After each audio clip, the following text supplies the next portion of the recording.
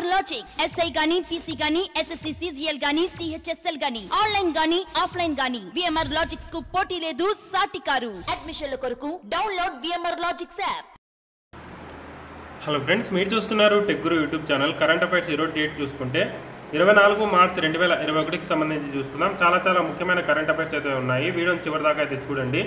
అలాగే వీడియో చూసే ప్రతి ఒక్కరు తప్పకుండా వీడియోని అయితే కొంచెం లైక్ చేసి సపోర్ట్ అనేది తెలియజేయండి. ఇంకా ఎవరైనా మన ఛానల్ని సబ్స్క్రైబ్ చేసుకోకపోతే వెంటనే సబ్స్క్రైబ్ చేసుకోండి. మన ఛానల్కి సంబంధించిన టెలిగ్రామ్ గ్రూప్ లింక్ కూడా కింద డిస్క్రిప్షన్లో ఇవ్వడం జరిగింది. మీకు ఇంట్రెస్ట్ ఉంటే జాయిన్ అవ్వచ్చు. ఒక క్వశ్చన్ అయితే అడుగుతాను ఆన్సర్ అయితే కామెంట్ చేయండి. ఏ దేశం ఇటీవల ముప్పై ఎనిమిది విదేశీ ఉపగ్రహాలను ప్రయోగించింది? ఆన్సర్ని కామెంట్ చేయండి. భారత తదుపరి ప్రధాన న్యాయమూర్తిగా ఎవరు నియమితులు కానున్నారో అని చూసుకుంటే జస్టిస్ ఎస్వి రమణ గారు ఇక్కడ నియమితులైతే ఎన్వి రమణ గారు ఇక్కడ నియమితులైతే కానున్నారు. భారత తదుపరి ప్రధాన న్యాయమూర్తిగా జస్టిస్ ఎన్వి రమణ గారు నియమితులైతే కానున్నట్లు మనకు తాజాగా అయితే తెలుస్తోంది. సుప్రీంకోర్టు నలభై ఎనిమిదవ సీజేగా జస్టిస్ రమణ గారి పేరును ప్రస్తుత ప్రధాన న్యాయమూర్తి అయిన జస్టిస్ ఎస్ఏ బోబ్డే గారు ప్రతిపాదించారు. ఈ మేరకు కేంద్ర న్యాయశాఖకు సంబంధించి లేఖ అయితే రాయడం జరిగింది.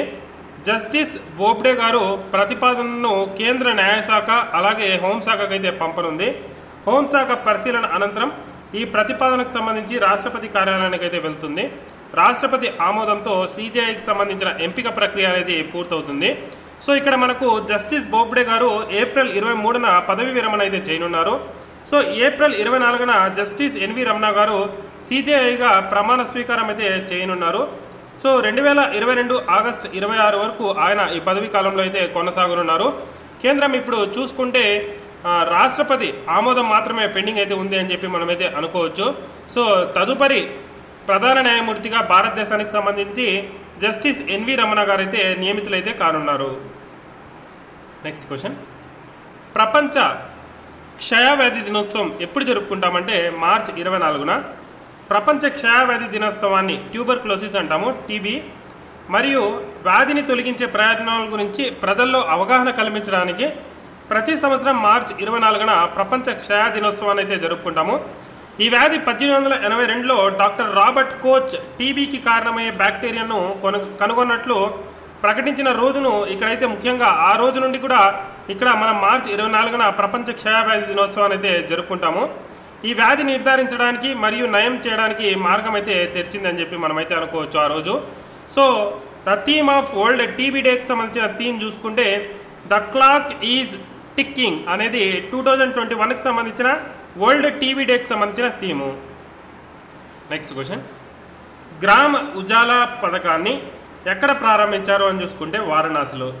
విద్యుత్ పునర్ ఉత్పాదక ఇంధన మంత్రి రాజ్ కుమార్ సింగ్ గారు రెండు వేల ఇరవై ఒకటి మార్చ్ ఇరవై నాలుగున వారణాసిలో గ్రామ ఉజాలా పథకాన్ని ప్రారంభించడం అయితే జరిగింది.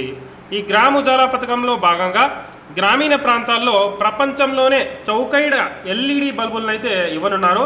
సో ఎన్ని రూపాయలకు ఈ ఎల్ఈడి బల్బుల్ని ఇవ్వనున్నారంటే కేవలం పది రూపాయలకైతే ఇవ్వనున్నారు.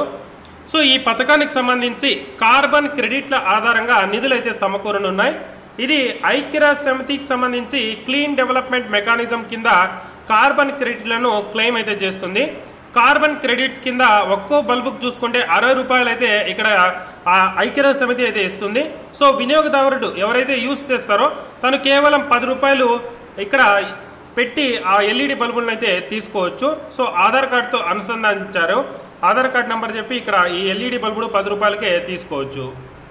దాన్ని అయితే వారణాసిలో ప్రారంభించడం అయితే జరిగింది. Next question. Indian coast guard ship వజ్రాను March ఇరవై నాలుగు రెండు వేల ఇరవై ఒకటిన చెన్నైలో ఎవరు ప్రవేశపెట్టారు అంటే బిపిన్ రావత్ గారు అయితే ప్రవేశపెట్టడం జరిగింది. ఇండియన్ కోస్ట్ గార్డ్ షిప్ వజ్రాను మార్చ్ ఇరవై నాలుగు రెండు వేల ఇరవై ఒకటిన చెన్నైలో defence staff chief general Bipin Rawat గారు నియమించారు. ఈ కార్యక్రమంలో Indian coast guard DG K నటరాజను అలాగే ఐజీ ఎస్ పరమేశు ఇక్కడ పాల్గొనడం అయితే జరిగింది.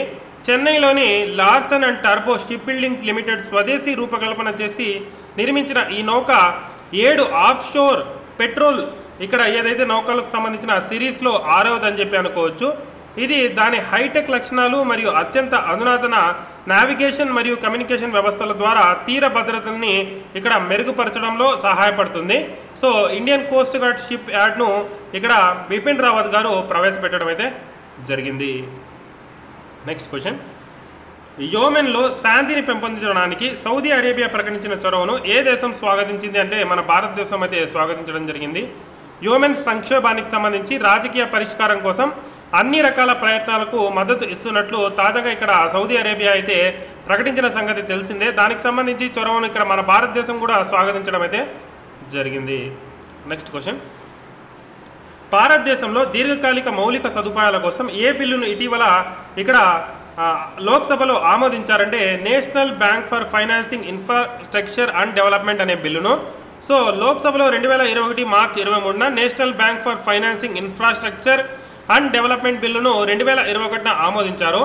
భారతదేశంలో దీర్ఘకాలిక మౌలిక సదుపాయాలు ఫైనాన్సింగ్ అభివృద్ధికి తోడ్పడడానికి national bank for financing infrastructure and development అనే చట్టబద్ధమైన ఇక్కడ సంస్థను స్థాపించాలని చెప్పి ఈ బిల్లును అయితే ఇక్కడ ప్రవేశపెట్టడం జరిగింది. అలాగే ఆమోదం అయితే తెలపడం అయితే జరిగింది.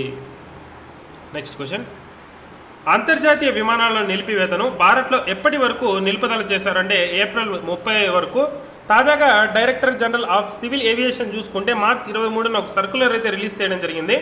అందులో భాగంగా అంతర్జాతీయ విమానాలను ఏప్రిల్ ముప్పై వరకు ఇక్కడ నిలుపుదల అయితే చేయడం జరిగింది. సో ఏ కారణం చేత అని ఒక్క ఒక్కసారి గమనిస్తే మళ్ళీ కూడా కరోనా కేసులు మన భారతదేశంలో చూసుకుంటే రోజు రోజుకి పెరుగుతున్నాయి.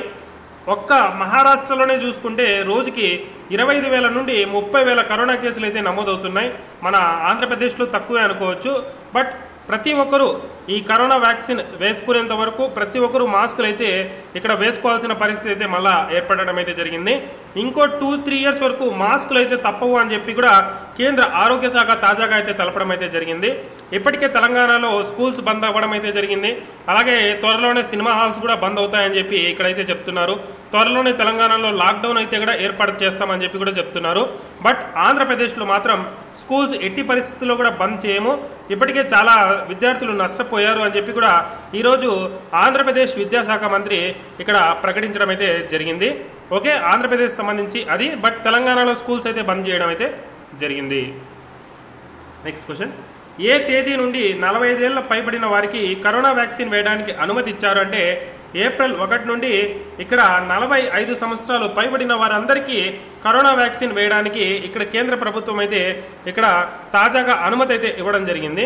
సో పంతొమ్మిది పబ్లిక్ ఇమ్యునైజేషన్ డ్రైవ్ను విస్తరించాలని చెప్పి కోవిడ్ నైన్టీన్కి సంబంధించి కోవిడ్ నైన్టీన్కి సంబంధించిన పబ్లిక్ ఇమ్యునేషన్ డ్రైవ్ను విస్తరించాలని చెప్పి ఇక్కడ అనేక రాష్ట్రాల అంటువ్యాధులు రెండవ తరంగంలో పోరాడుతుందన్న సో ఇక్కడ దీనికి సంబంధించి జనవరి పదహారున స్టార్ట్ అయిన ఈ ఇమ్యునైజేషన్ ప్రోగ్రామ్ని నలభై ఐదు సంవత్సరాలు పైబడిన వారికి కూడా ఇక్కడ విస్తరింపజేయాలని చెప్పి కేంద్రం తాజాగా ఆదేశాలు అయితే జారీ చేసింది. ప్రజెంట్ చూసుకుంటే సిక్స్టీ ఇయర్స్ అబవ్ ఉండే వాళ్ళకే వ్యాక్సిన్ అయితే వేస్తున్నారు. సో ఏప్రిల్ ఒకటి నుండి నలభై ఐదు సంవత్సరాలు పైబడిన వారికి కూడా ఉచితంగానే వ్యాక్సిన్ అయితే వేయనున్నారు. Next question. మరాఠాలకు రిజర్వేషన్ కోటా మంజూరు చేయడానికి ఏ రాష్ట్రానికి శాసనపరమైన సామర్థ్యం ఉంది అని చెప్పి కేంద్రం ఇటీవల తెలిపింది అంటే మహారాష్ట్రకు. మరాఠాలకు రిజర్వేషన్ కోటా మంజూరు చేయడానికి మహారాష్ట్రకు శాసనపరమైన సామర్థ్యం ఉంది అని చెప్పి అలాగే నూట రెండవ సవరణ తన సామాజిక మరియు విద్యాపరంగా వెనుకబడిన తరగతులకు జాబితాను ప్రకటించే అధికారం కూడా ఉంది అని చెప్పి తాజాగా మనం చూసుకుంటే కేంద్రం చూసుకుంటే సుప్రీంకోర్టుకు అయితే తెలపడం అయితే జరిగింది. సుప్రీంకోర్టు రీసెంట్గా మనం చూసుకుంటే ఏ విధంగా ఎన్ని రోజులు ఈ ఇంకా రిజర్వేషన్ని అమలు చేస్తూ వస్తారు? ఈ రిజర్వేషన్లు ఇంకా ఎన్ని రోజులు అని చెప్పి ప్రశ్నించిన సంగతి మనకు తెలిసిందే. అలాగే ఈ రిజర్వేషన్ అనేది ఫిఫ్టీ పర్సెంట్ పెంచకుండా ఉండాలని కూడా తాజాగా మనకైతే చెప్పడం జరిగింది. బట్ ఇక్కడ చూసుకుంటే మహారాష్ట్రలో మరాఠాలకు రిజర్వేషన్ ఇవ్వాలంటే ఈ ఫిఫ్టీ పర్సెంట్ని ఖచ్చితంగా అధిగమించాల్సిన పరిస్థితి. సో ఆ కారణం చేత ఇక్కడ కేంద్రం అయితే తాజాగా శాఖాపరమైన సామర్థ్యం ఉంది అని చెప్పి కూడా ఇక్కడ సుప్రీంకోర్టుకు తాజాగా వెల్లడించడం అయితే జరిగింది. ఇది రోజు కరెంట్ అఫైర్స్ అయితే వీడియో నచ్చినట్లయితే ఒక చిన్న లైక్ చేయండి. ఇప్పుడు ఒకసారి క్విక్ రివిజన్ అయితే చూసుకుందాం. మరాఠాలకు రిజర్వేషన్ కోటా మంజూరు చేయడానికి ఏ రాష్ట్రానికి శాసనాపరమైన సామర్థ్యం ఉంది అని చెప్పి కేంద్రం ఇటీవల తెలిపిందంటే మహారాష్ట్రకు. ఏ తేదీ నుండి నలభై ఐదేళ్ళ పైబడిన వారికి కరోనా వ్యాక్సిన్ వేయడానికి అనుమతి ఇచ్చారంటే ఏప్రిల్ ఒకటి. అంతర్జాతీయ విమానాలు నిలిపివేతను భారత్లో ఎప్పటి వరకు నిలుపుదల చేశారంటే ఏప్రిల్ ముప్పై. భారతదేశంలో దీర్ఘకాలిక మౌలిక సదుపాయాల కోసం ఏ బిల్లును ఇటీవల ఆమోదించారంటే national bank for financing infrastructure and development?